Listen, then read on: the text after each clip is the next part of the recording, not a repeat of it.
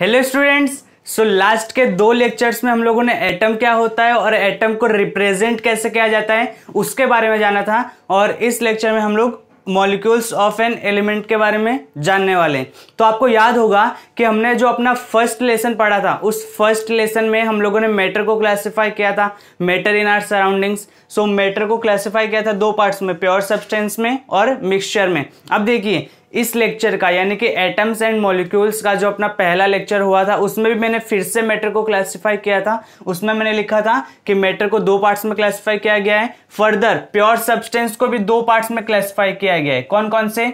तो उस, वो है एलिमेंट एंड कंपाउंड। आपको याद आ रहा होगा ना? ठीक है?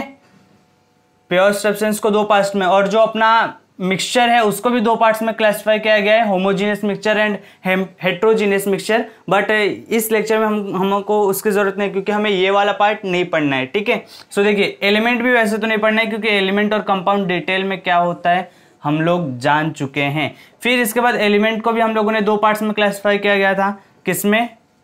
एटम में और मॉलिक्यूल में। आई होप आप लोग को कुछ कुछ तो याद आ रहा होगा। फिर कंपाउंड को भी दो पार्ट्स में क्लासिफाई किया गया था। किसमें किसमें? मॉलिक्यूल में एंड आयन में। ठीक है? तो देखो, हम लोग क्या क्या पढ़ चुके हैं। हम लोग ये सब तो अपने जो लास्ट लेक्चर हुए हैं, जो अपना फ़र्स्ट लेसन हम लोगों ने कंप्लीट किया मेटर इन आर सराउंडिंग्स उसमें पढ़ चुके हैं। एलिमेंट और कम एलिमेंट और कंपाउंड में क्या डिफरेंस होता है, कैसे क्या होता है, वो सब हम लोग पढ़ चुके हैं। ठीक है? और एटम के बारे में भी हम लोग पढ़ चुके हैं। अभी हम लोग को ये वाला पार्ट कंप्लीट करना है। अब देखिए, जो मॉलिक्यूल होता है, वो एलिमेंट का भी होता है और जो मॉलिक्यूल होता है, वो कंपाउंड का भी होता है। तो इस लेक्चर में पर, इस लेक्चर में हम लोग मॉलिक्यूल ऑफ़ एलिमेंट पढ़ेंगे और अगर टाइम परमिट हुआ तो इसी लेक्चर में हम लोग मॉलिक्यूल ऑफ़ कंपाउंड भी पढ़ लेंगे, नहीं तो उसको नेक्स्ट लेक्चर में देख लेंगे। ठीक है? सो आप लोग को इतना पता चल गया होगा कि हम लोग इस लेक्चर में मॉलिक्यूल ऑफ़ एलिमेंट पढ़ने वाले हैं। और टाइम परमिट हुआ तो इसको भी पढ़ लेंगे नहीं तो नेक्स्ट लेक्चर में पढ़ेंगे ठीक है? आयन के ऊपर अलग से वीडियो आएगा ठीक है? So molecule of an element अब देखिए सबसे पहले तो आप लोग एलिमेंट और कंपाउंड में डिफरेंस पता होना चाहिए तो आपको समझ जाएगा कि मॉलिक्यूल ऑफ़ एन एलिमेंट और मॉलिक्यूल ऑफ़ एन कंपाउंड में क्या डिफरेंस है। सो so, देखो मैं उसको लिख लिख देता हूँ। जैसे कि मैंने आप लोगों से पूछा कि एलिमेंट कब बनता है? एलिमेंट तो एलिमेंट तो फ्रीली होते हैं ना अपने नेचर में? सो so, वो बनते नहीं है। तो एलिमेंट टोटल 118 एलिमेंट हैं। ठीक है टोटल कितने हैं? 118 एलिमेंट है, जैसे मैंने लिख दिया ऑक्सीजन नाइट्रोजन हाइड्रोजन आर्गन ठीक है? तो ये सारे अपने क्या हो गए? ये सारे अपने एलिमेंट हो गए। और कंपाउंड कौन सा होगा? तो दो एलिमेंट के मिलने से कंपाउंड बनता है। लेकिन वो जो दो एलिमेंट होने चाहिए, वो डिफरेंट होने चाहिए। जैसे कि अगर मैंने O2 को O2 से मिलाया तो तो कंपाउंड नहीं बनेगा। समझे? तो कंपाउंड नहीं बनेगा। एन को नाइट्रोजन को नाइट्रोजन से मिलाया तो कंपाउंड बन तो कंपाउंड नहीं बनेगा। जो दो अपने एलिमेंट होने चाहिए, वो डिफरेंट एलिमेंट होने चाहिए। तब जो बनेगा नया प्रोडक्ट उसको बोलेंगे कंपाउंड जैसे कि अगर मैंने लिखा कार्बन और मैंने उसके साथ ऑक्सीजन को मिला दिया तो इसको बोलेंगे कार्बन मोनोऑक्साइड अगर मैंने ऑक्सीजन के दो आइटम लिए तो CO2 तो इसको बोलेंगे कार्बन डाइऑक्साइड आप लोग को आई होप समझ में आ रहा होगा। तो देखो यहाँ पर इसको मैं कंपाउंड बोलूँगा। क्यों? क्योंकि इसमें जो दो एलिमेंट कंबाइन हुए हैं, वो दोनों डिफरेंट डिफरेंट टाइप के हैं। कार्बन अलग हो गया ऑक्सीजन अलग हो गया। यहाँ पर कार्बन अलग ऑक्सीजन अलग। जैसे अगर मैंने H2O लिखा तो ये भी अपना एक ये भी अपना एक कंपाउंड है, क्योंकि यहाँ पर भी दो डिफरेंट टाइप के एलिमेंट कंबाइन हुए हैं, एक हाइड्रोजन और एक ऑक्सीजन लेकिन अगर कभी मैंने सिर्फ़ O2 लिखा तो ये अपना कंपाउंड नहीं है। क्यों नहीं है? क्योंकि यहाँ पर सिर्फ़ एक टाइप का एलिमेंट है। कौन सा? ओनली ऑक्सीजन इज़ देयर ठीक है? यहाँ पर सिर्फ़ ऑक्सीजन है। सो ये क्या है? ये एक एलिमेंट है। ठीक है, ये एलिमेंट है, ये कंपाउंड नहीं है जैसे अगर मैंने लिख दिया N2 तो ये भी कंपाउंड नहीं है, सिर्फ़ ये एक एलिम एक टाइप का एलिमेंट है, कौन सा? नाइट्रोजन तो आयो, आपको कंपाउंड का मतलब समझ आ गया कि कंपाउंड कब, जब दो डिफरेंट एलिमेंट कंबाइन होंगे किसी एक प्रपोर्शन में तो उसको बोलेंगे कंपाउंड ठीक है? लेकिन वो जो दो एलिमेंट कंबाइन होने चाहिए, वो दोनों डिफरेंट डिफरेंट टाइप के होने चाहिए। अगर वो सेम टाइप के हुए तो उसको कंपाउंड नहीं बोलेंगे। कंपाउंड किसको बोलेंगे? जब दो एलिमेंट कंबाइन होंगे और दोनों डिफरेंट डिफरेंट टाइप के होंगे। तो अभी हम लोग शुरू करते हैं मॉलिक्यूल्स ऑफ़ एलिमेंट अच्छा मॉलिक्यूल्स ऑफ़ एलिमेंट पढ़ना है तो आपको इतना समझ आ गया होगा कि मॉलिक्यूल्स ऑफ़ एलिमेंट में हम लोग किसको पढ़ने वाले हैं। ये सब पढ़ेंगे क्या? नहीं। ये सब किसमें पढ़ेंगे? ये सब मॉलिक्यूल्स ऑफ़ कंपाउंड में पढ़ेंगे। मॉलिक्यूल्स ऑफ़ एन एलिमेंट में कौन सा पढ़ेंगे? ये वाला पढ़ेंगे ये वाला पढ़ेंगे और भी बहुत सारे एग्ज़ाम्पल है। आर्गन को भी ले लेते हैं ठीक है? और भी बहुत सारे एग्ज़ाम्पल है। तो हम लोग मॉलिक्यूल ऑफ़ एन एलिमेंट पढ़ने वाले हैं। सो वीडियो में एंड तक बने रहिए। देखते हैं आगे। सो so, स्टूडेंट्स आप लोग को मॉलिक्यूल्स ऑफ़ एन एलिमेंट जानने से पहले मॉलिक्यूल का मतलब क्या होता है? वो जानना ज़रूरी है। तो पहले उसको जान लेते हैं। तो देखिए मॉलिक्यूल क्या होता है? अगर मैं आप लोगों से पूछूँ कंपाउंड क्या आता है तो आप लोग क्या बोलोगे? जब दो डिफरेंट एलिमेंट किसी फिक्स प्रोपोर्शन में कंबाइन होते हैं तो जो नया प्रोडक्ट फॉर्म होता है, उसको कंपाउंड बोलते हैं। बरोबर? यानी कि जो कंपाउंड है, वो किसका कॉम्बिनेशन है? एलिमेंट का कॉम्बिनेशन है। सो सेम वैसे ही मॉलिक्यूल किसका कॉम्बिनेशन है? एटम का कॉम्बिनेशन है। इसको मैं लिख देता हूँ। जैसे कि अगर मैंने लिखा एलिमेंट एलिमेंट मैंने लिखा तो एलिमेंट और एलिमेंट को मिलाने से एलिमेंट और एलिमेंट को मिलाने से जो एक नया प्रोडक्ट फॉर्म होता है, उसको बोलते हैं कंपाउंड सो सेम वैसे ही जब मैं एटम को एटम के साथ मिलाऊँगा तो जो नया प्रोडक्ट फॉर्म होगा, उसको बोलेंगे मॉलिक्यूल बोलो, कुछ समझ में आ रहा है? उसको क्या बोलेंगे? उसको बोलेंगे मॉलिक्यूल क्या बोलेंगे?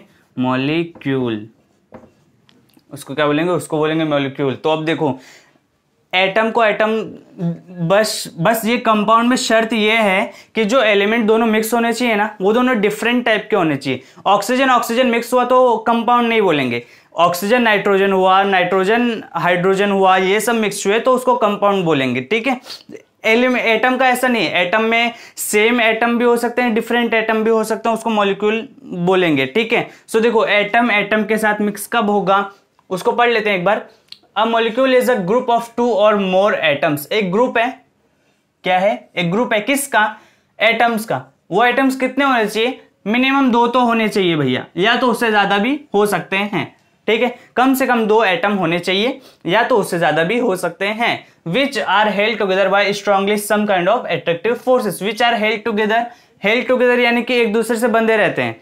By some kind of attractive forces किसी फोर्स से, जो उनको आपस में खींचते रहता है। जैसे मैं आप लोग को बताता हूँ, जैसे मान लो मैं एक ऑक्सीजन का मॉलिक्यूल हूँ तो जो दूसरा ऑक्सीजन का मॉलिक्यूल होगा, मैं उसके साथ ऐसा हाथ पकड़ के ऐसा ऐसा हाथ पकड़ के खड़े रहूँगा। यानी कि हम लोग के बीच एक एट्रेक्टिव फोर्स रहेगा, हम लोग एक फोर्स से बंधे हुए रहेंगे।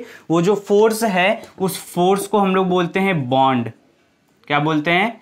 बॉन्ड बोलते हैं। उस फोर्स को क्या बोलते हैं? बॉन्ड बोलते हैं। यानी कि देखो, अगर ये अपना ऑक्सीजन है ना तो ये दूसरे ऑक्सीजन के साथ ऐसे बॉन्ड बना कर रहेगा। इसको बोलते हैं बॉन्ड इसके बारे में और आप डिटेल में पूरा क्लास टेंथ में जानेंगे। इस टाइम पे सिर्फ़ इतना ध्यान रखिए कि एक एटम दूसरे एटम के साथ किसी फोर्स से बंधा हुआ होता है।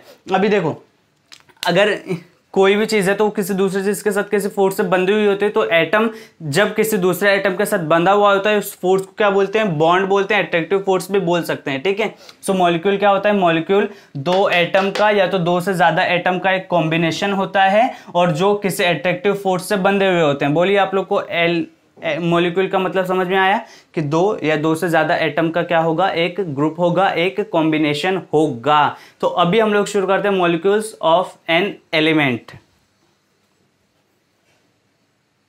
देखिए students molecules of an element पर हम लोग आ तो गए हैं। आप लोग इसके इस डेफिनेशन को एक बार पढ़ भी सकते हो। ठीक है? ये जो लाइन लिखी है ना, बस ये तीन लाइन में लिखा है, तीन में ही, ठीक है? सेंटेंस पूरा एक है तीन लाइन में मैंने इसको लिखा है, लेकिन लिखा बहुत बड़ी बात है। आपको समझने में बड़ा आसानी होगा। ध्यान से समझिएगा, देखिए। Molecules of an element molecules of an element ठीक है? Molecules of an element means one two or more atom of the same element existing as one species in the free state अब देखिए, यहाँ पर सेम क्यों बोला? उसको समझना ज़रूरी है। One two or three one two or more क्यों बोला? उसको समझना ज़रूरी है, ठीक है? तो उसको सबसे पहले यहाँ पर देखिए। सबसे पहले मैं आप लोग को यह बता देता हूँ कि सेम एलिमेंट का क्यों बोला? सेम एलिमेंट का क्यों बोला? यहाँ पर। ये देखिए सेम एलिमेंट लिखा है ना? ये सेम एलिमेंट क्यों बोला? सेम एलिमेंट इसलिए बोला गया है क्योंकि अगर जैसे ही मैं इसको डिफरेंट एलिमेंट बोल देता तो ये मॉलिक्यूल्स ऑफ़ एन एलिमेंट नहीं रह जाता। तभी मॉलिक्यूल्स ऑफ़ अ कंपाउंड हो जाता। याद करो, अगर मैं यहाँ पर डिफरेंट एलिमेंट बोलता तो डिफरेंट एलिमेंट मतलब क्या? जब दो element different different element combine होंगे तो वो तो कंपाउंड बना देते हैं ना। अरे भैया, हम लोगों ने देखा था जो कार्बन होता है, वो कार्बन एक टाइप का हो गया, जो ऑक्सीजन होता है वो दूसरे टाइप का हो गया। तो यहाँ पर मैं दो ऑक्सीजन के दो आइटम ले लेता हूँ। तो यहाँ पर तो ये डिफरेंट हो गया और ये डिफरेंट हो गया। तो ये जो पूरा टोटल बना, ये तो एक कंपाउंड बना, ये कहाँ से एलिमेंट हो गया? ये थोड़ी एलिमेंट है। तो सेम ऐसे यहाँ पर मॉलिक्यूल्स ऑफ़ एन एलिमेंट लिखा है तो वो जो एलिमेंट होना चाहिए, वो सेम टाइप का होना चाहिए। यानी कि अगर पहला ऑक्सीजन है तो दूसरा भी ऑक्सीजन ही होना चाहिए। पहला नाइट्रोजन है तो दूसरा भी नाइट्रोजन ही होना चाहिए। पहला आर्गन है तो दूसरा आर्गन होना चाहिए, लेकिन क्योंकि आर्गन अपना नोवल गैस है तो वो किसी और के साथ बॉन्ड नहीं बनाता है। ठीक है? अपना हाइड्रोजन है तो दूसरा भी अपना हाइड्रोजन ही होना चाहिए। तो ये ऐसे टाइप के जो होंगे, उनको हम लोग क्या बोलेंगे? उनको बोलेंगे मोलिक्यूल्स ऑफ़ एन एलिमेंट समझ में आया? अगर मैंने ले लिया देखो, ये सेम टाइप के है ना तो जब सेम टाइप के मिल रहे हैं तो उसको बोल रहे हैं molecules of an molecules of an element जैसे ही वो डिफरेंट टाइप के होने लगे, यहाँ पर ये डिफरेंट टाइप का, ये डिफरेंट तो वो मोलिक्यूल्स ऑफ़ कंपाउंड हो गया. जैसे ही एच ले लिया तो ये क्या है? एच अलग टाइप का ओ अलग टाइप का तो वो भी कंपाउंड हो गया. तो मोलिकुल्स ऑफ़ कंपाउंड बोलेंगे उसको. तो अगर मैंने लिख दिया, मान लो सी ओ लिख दिया तो यहाँ पर भी सी कार्बन और ऑक्सीजन कंबाइन है, लेकिन वो दोनों डिफरेंट डिफरेंट एलिमेंट के हैं। तो ये भी क्या हो गया? मोलिक्यूल्स ऑफ़ कंपाउंड हो गया। मोलिक्यूल्स ऑफ़ एन एलिमेंट के लिए हम लोग को जो दो एलिमेंट लेने हैं, वो सेम लेने हैं सेम टाइप के होने चाहिए। यहाँ पर दो एटम है, लेकिन जो अपना एलिमेंट है, वो तो एक ही टाइप का है। कौन सा? Only oxygen is there only nitrogen is here ठीक है? आई होप आप लोग को ये समझ में आ रहा होगा। जैसे मैंने लिख दिया N S three N S three मतलब अमोनिया। तो अमोनिया में भी देखो एन है जो कि अलग टाइप का है। हाइड्रोजन है, जो कि अलग अलग टाइप का है। सो इसको हम लोग बोल रहे हैं कंपाउंड इसको क्या बोल रहे हैं? कंपाउंड बोल रहे हैं।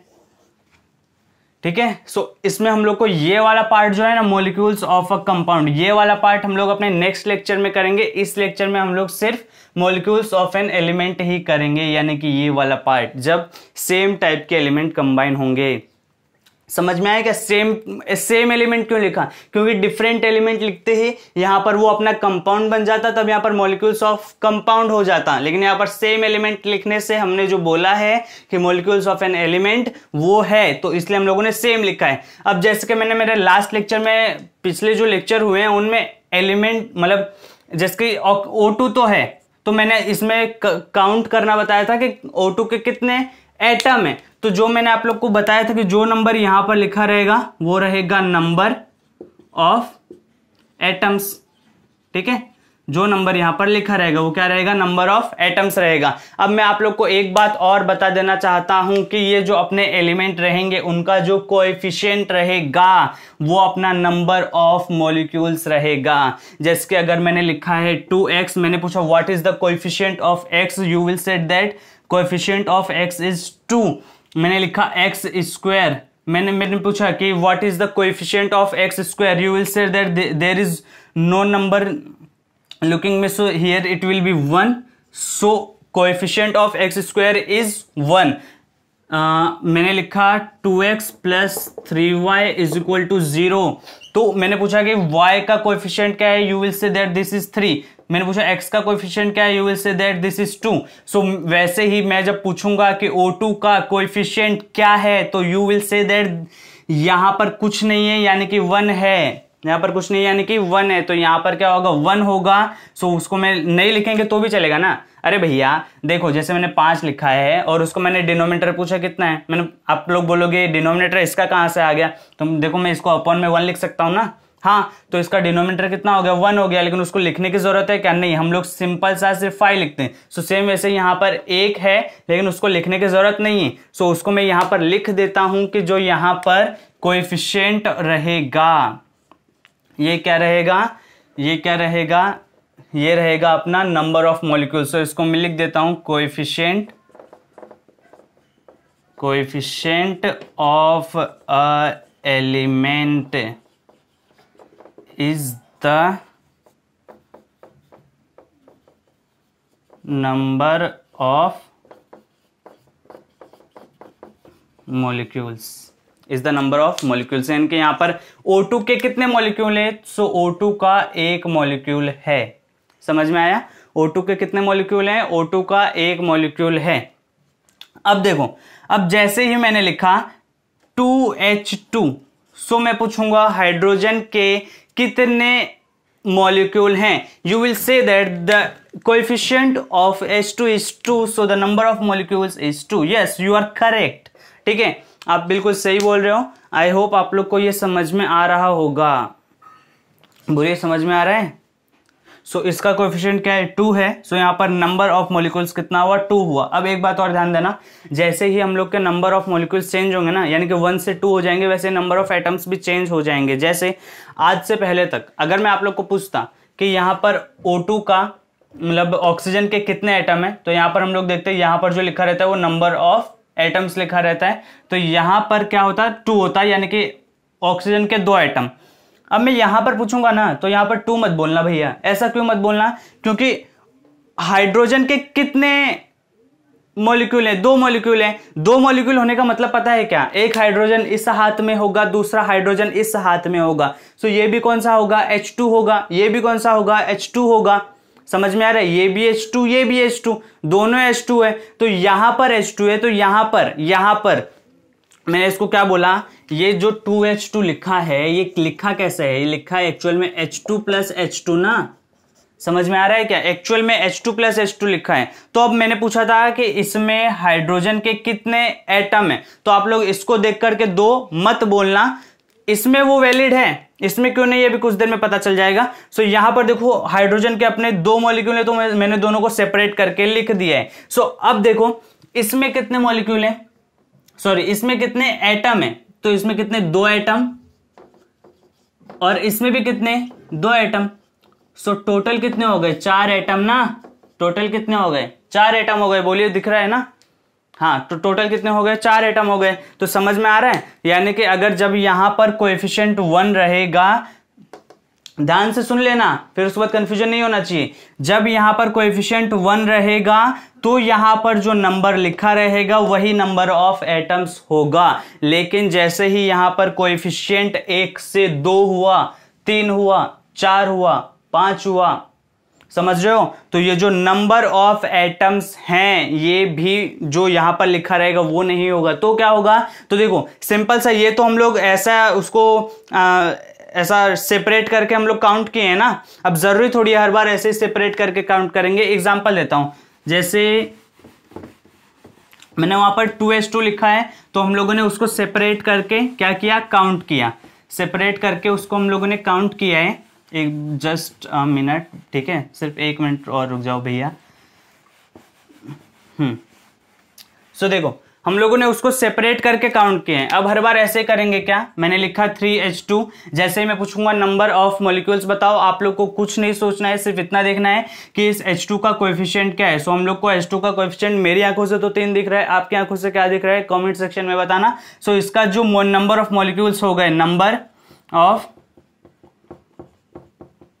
molecules of H two कितना हो गया? तीन हो गया, ठीक है? लेकिन जैसे ही मैं पूछूँगा number of atoms of H two तो कितने एटम है? तो देखो यहाँ पर देख के टू मत बोलना, क्योंकि हम लोग ऐसा कब तक बोल रहे थे जब तक इसका जो कोएफिशिएंट होता था वो वन होता था। अभी इसका कोएफिशिएंट कितना है? तीन है। सो हम लोग इसको कैसा लिख सकते हैं? थ्री एच टू को मैं कैसा लिख सकता हूँ?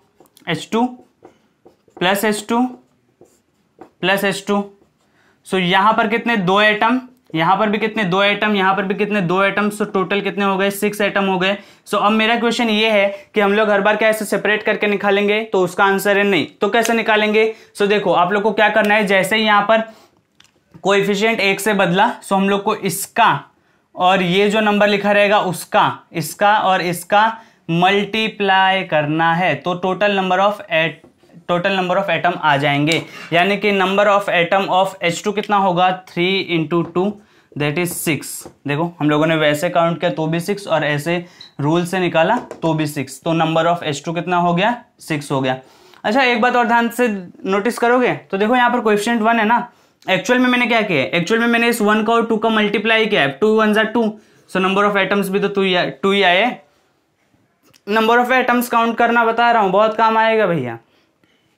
इसका और इसका मल्टीप्लाई करने का कब? जब नंबर ऑफ़ एटम दिया रहेगा। नंबर ऑफ़ एटम पूछेगा तब। और नंबर ऑफ़ मोलिक्यूल्स पूछा तो सिंपल सा इसके आगे जो कोएफिशिएंट लिखा रहेगा वो। आई होप आपको समझ में आ गया होगा। चलिए कुछ और एग्ज़ाम्पल मैं आप लोग को बताता हूँ। सो so, देखिए आई होप आप लोग को ये समझ में आ रहा होगा। मैं कुछ और एग्ज़ाम्पल लिखता हूँ। ध्यान से देखिएगा। फ़र्स्ट एग्ज़ाम्पल जैसे कि मैंने लिख दिया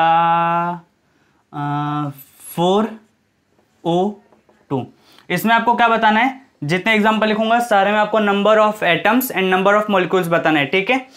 Second example I am writing that is three and two third example I am writing that is A R fourth example I am writing that is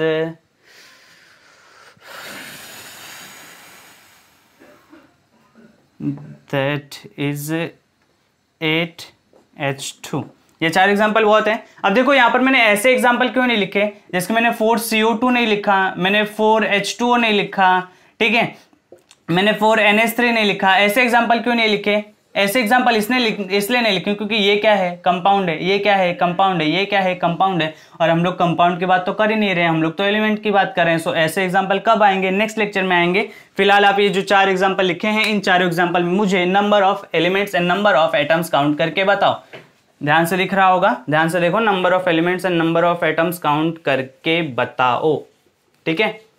सो देखो, हम लोग जो अपना फ़र्स्ट एग्जांपल लिखे हैं, उसमें हम लोग सिंपल सा बोलेंगे कि मेरे को O2 का कोएफिशिएंट फोर दिख रहा है। यानी कि यहाँ पर नंबर ऑफ़ मॉलिक्यूल्स कितने हो गए? नंबर ऑफ़ मॉलिक्यूल्स मॉलिक्यूल्स कितने हो गए? हो गए चार।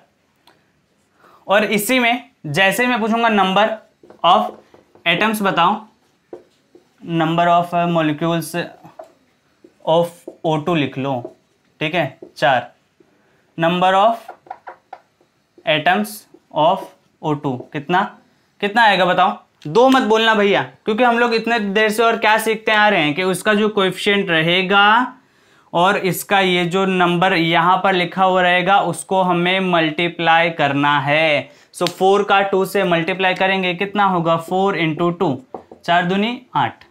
So total number of atoms of O कितने आ गए? आठ आ गए। अब अगर आप इसको ऐसे नहीं करते सो आप इसको ऐसा ऐसा काउंटिंग करके देखोगे तो भी आ जाएगा। इसको हम लिखेंगे O two O two O two O two ऐसा चार बार ओ टू लिखेंगे सो उसको हम लोग ऐड कर देंगे। सो यहाँ पर कितने एलिमेंट कितने आइटम दो। यहाँ पर कितने दो? यहाँ पर कितने दो? यहाँ पर कितने दो? सो ये टोटल कितना हो गया? एट हो गया। ठीक है, ऐसा भी हम लोग कर सकते हैं, लेकिन ऐसा नहीं जाओ तो ठीक है, क्योंकि हम लोग को ऐसा ओरली आंसर देना है। सो फोर टू जा एट इस वाले में आ जाते हैं number of molecules of N two कितना हो गया? इसके आगे कोएफिशिएंट जो है, वो यानी कि three number of atoms of N two इसके आगे का जो कोएफिशिएंट अब देखो, इसमें कोएफिशिएंट की बात नहीं है भैया। इसमें हम लोग को क्या करना है, यहाँ पर थ्री को टू से मल्टीप्लाई करना है। यानी कि क्या लिखेंगे? Three into two that is six होता है ना? एट किसने लिख दिया? सिक्स अरे, ये क्या हो गया? अरे, ये क्या लिखा है? ये लिखा है argon number of atoms sorry पहले तो मॉलिक्यूल लिख रहे हैं ना इतने देर से। सो नंबर ऑफ़ अरे बार बार मॉलिक्यूल्स ऑफ़ ए आर कितने हैं? इसका जो क्वेश्चन रहेगा वो क्वेश्चन कितना है? वन अब N number of atoms number of atoms of air कितना है? वन ही होगा ना? देखो, यहाँ पर कुछ नहीं लिखा है, यानी कि वन लिखा है। यहाँ पर भी कुछ नहीं लिखा है वन लिखा है। वन को वन से मल्टीप्लाई करेंगे वन तो number of atoms of air कितना आ गया? वन यानी कि इसके मॉलिक्यूल भी वन और इसके एटम भी वन तो इसीलिए तो यहाँ पर लिखा है molecules of an element means one यानी कि ओनली वन सिर्फ़ यहाँ पर एक ही तो एलिमेंट है मतलब एक ही एटम तो है जो एक मॉलिक्यूल बना रहा है। लेकिन यहाँ पर ऐसा नहीं है। जैसे कि मैंने O2 लिख दिया तो O2 में कितने? दो एटम है जो कि एक मॉलिक्यूल बना रहे हैं। अगर मैं आप लोगों से पूछूँ कि ऑक्सीजन बनने के लिए, जो हम लोग सांस लेते हैं, वो ऑक्सीजन बनने के लिए ऑक्सीजन के कम से कम कितने एलिमेंट कितने एटम होने चाहिए? दो एटम होने चाहिए, तब जाकर के ऑक्सीजन का एक मॉलिक्यूल बनेगा। तो ये जो वन लिखा है ना, ये सारे नोबल गैस के लिए लिखा है। नोबल गैस का जो नंबर ऑफ़ मॉलिक्यूल्स रहता है, वही नंबर ऑफ़ एटम्स भी रहता है, क्योंकि वो किसी से, के साथ कंबाइन नहीं होते, इसलिए हम लोगों ने यहाँ पर वन लिखा है। कौन कौन से नोबल गैस नोबल गैस है अपना helium neon argon krypton xenon ठीक है, और भी है, लेकिन फ़िलहाल आप इतनी याद रखो, इतनी बहुत है। इसमें कर लो। Number of molecules of H two कितना हो गया? उसके आगे जो कोफिशियंट रहेगा वो यानी कि एस टू के आगे कोफिशियंट कितना है? एट सो ये एट अब मैं लिखू number of atoms of H two कितना हो गया? इसका जो क्वेश्चन रहेगा वो और इसका मल्टीप्लीकेशन यानी कि एट टू ज़ा आठ दुनी सोलह सिक्सटीन समझ में आया? आई होप आप लोग को दिख रहा होगा। समझ में आया? चलिए अभी एक और टॉपिक बाकी है उसको भी पढ़ लेते हैं। सो so, देखिए स्टूडेंट्स यहाँ पर मैंने अपने मॉलिक्यूल के कुछ टाइप्स लिखे किस बेसिस पर मैंने ये टाइप लिख दिए? तो देखो depending upon whether the molecule contains one two three four ETC molecules are called monoatomic diatomic triatomic ये मोनो डाय ट्राई क्या है? इनके नाम से समझ लो। Mono means one atomic means atom di means two atomic means atom tri means three atomic means atom बस, समझ गए ना? बस यही है। कोई मॉलिक्यूल कितने नंबर ऑफ़ एटम्स कंटेन करता है, उसके बेसिस पर मॉलिक्यूल के तीन टाइप है। कौन कौन से? Mono atomic monoatomic tri atomic अब इसके एग्जांपल तो आप लोग समझ गए होंगे। मोनोएटोमिक जिसमें सिर्फ़ एक मॉलिक्यूल जिसमें सिर्फ़ एक एटम होगा, जो सिर्फ़ एक ऐसा मॉलिक्यूल जो कि सिर्फ़ एक एटम कंटेन करेगा। इसके एग्ज़ाम्पल भी कुछ देर पहले लिखा था आर्गन तो ये कितने एटम है? एक। मॉलिक्यूल भी कितना है? एक। सो इसको क्या बोले? मोनो एटोमिक बोले, क्योंकि ये मॉलिक्यूल जो है, वो सिर्फ़ एक एटम कंटेन कर रहा है। जितने भी अपने नोबल गैसेस है, वो सारे मोनो एटोमिक की तो हीलियम हो गया जिनोन हो गया, ठीक है? क्रिप्टोन हो गया, ये सारे नियोन हो गया। सो ये सारे क्या है? ये सारे अपने नोबल गैसेस जो हैं, वो मोनो एटोमिक है, क्योंकि वो सिर्फ़ एक एटम कंटेन करते हैं। डाई एटोमिक मतलब क्या? जो दो एटम करते हैं। Di atomic molecules which contain which contains two atoms only two single फिर उससे ज़्यादा नहीं होंगे। दो बोला मतलब सिर्फ़ दो ही। जैसे कि एग्ज़ाम्पल लिख दिया O two H two N two कितने मॉलिक्यूल है? एक एक एक। मॉलिक्यूल तो एक ही बट हम लोग को मॉलिक्यूल से मतलब नहीं है। हम लोग को एटम नंबर ऑफ़ एटम से मतलब है। दो एटम है ना सबके? सो सबके कितने हैं? दो एटम है। सो ये सारे क्या है? ये सारे क्या है? डाई एटोमिक है। क्योंकि ये this molecules contains two atoms तो इनको क्या बोलेंगे? डाई एटोमिक बोलेंगे। ट्राई एटोमिक जो तीन एलिमेंट कंटेन करते हैं। तीन एलिमेंट का एग्ज़ाम्पल कौन कौन सा हो गया? सबसे बेस्ट एग्ज़ाम्पल है अपना ओजोन ओजोन ये ओजोन लेयर जो है, उसका ये फॉर्मूला है ओ थ्री कितने एलिमेंट कंबाइन है? तीन एलिमेंट कंबाइन है, तीन ऑक्सीजन ठीक है? सो कितने? तीन ऑक्सीजन ट्राई मतलब तीन एटॉमिक मतलब एटम सो तीन एटम जिस मॉलिक्यूल में कंबाइन होंगे, उसको बोलेंगे ट्राई एटॉमिक मॉलिक्यूल्स अब पॉली एटोमिक मॉलिक्यूल क्या हो गया? अब ज़रूरी थोड़ी है, हर बार एक, दो, तीन ही रहेगा. कभी तीन से ज़्यादा हो गए तो? तो तीन से ज़्यादा हो गए. चार, पाँच, छह, सात, आठ, नौ, दस, कितने भी हो, उसको क्या बोलेंगे? उसको बोलेंगे पॉली एटोमिक पॉली मतलब तीन से ज़्यादा. तीन से ज़्यादा जैसे वो उसको पॉली एटोमिक बोल देंगे. सो ये देखो P four phosphorus four S eight sulphur eight sulphur six भी पाया जाता है. सो एस सिक्स यानी कि इसमें कितने? आठ एटम सल्फ़र के। इसमें कितने? छह एटम सल्फ़र के। इसमें कितने? चार एटम यानी कि एक, दो, तीन तो नहीं है ना? क्योंकि एक होता तो मोनो एटम में बोलते। दो एटम होते तो डाई एटोमिक तीन एटम होते तो ट्राई एटोमिक लेकिन एक, दो, तीन तो है ही नहीं। उससे ज़्यादा है। सो उसको हम लोग सिंपली पॉली एटोमिक मॉलिक्यूल्स बोलने वाले हैं। बोलिए, आप लोग को समझ में आया कि पॉली एटोमिक मॉलिक्यूल्स किसको बोलेंगे? उसको क्या बोलेंगे? Poly atomic molecules I hope आप लोग को ये समझ में आया होगा, ठीक है? समझ में आया ना आज का लेक्चर कि डाई मोनोएटोमिक किसको बोलेंगे? डाई एटोमिक किसको बोलेंगे? ट्राई एटोमिक किसको बोलेंगे? जैसे अगर मैंने कोई भी एग्जांपल लिख देना है तो आप लोग को सिर्फ़ इतना देखना आना चाहिए कि वो डाई एटोमिक है, वो मोनो एटोमिक है, वो कौन सा पॉली एटोमिक है और हाँ नंबर ऑफ़ मोलिक्यूल्स और नंबर ऑफ़ एटम्स काउंट करने आना चाहिए। आज तो हम लोगों ने प्योर सिर्फ़ एलिमेंट की बात की है, ठीक है? मॉलिक्यूल्स ऑफ़ एन एलिमेंट जिसमें हम लोगों ने एलिमेंट देखा। Number of number of atom कैसे काउंट करते हैं, वो पिछले लेक्चर में भी देखा था, लेकिन आज थोड़ा नया देखा। तो नंबर ऑफ़ मॉलिक्यूल्स कैसे काउंट करते हैं, वो भी देखा। अभी हम लोग अपना जो नेक्स्ट लेक्चर होने वाला है, उसमें हम लोग मॉलिक्यूल्स ऑफ़ एन कंपाउंड देखेंगे। उस लेक्चर को मिस मत करना, क्योंकि उसमें इससे ज़्यादा नॉलेज मिलेगा। यानी कि मिलेगा मिलेगा, ठीक है? सो उसको भी देखते रहना। सो मिलते हैं नेक्स्ट वीडियो लेक्चर में। Thank you so much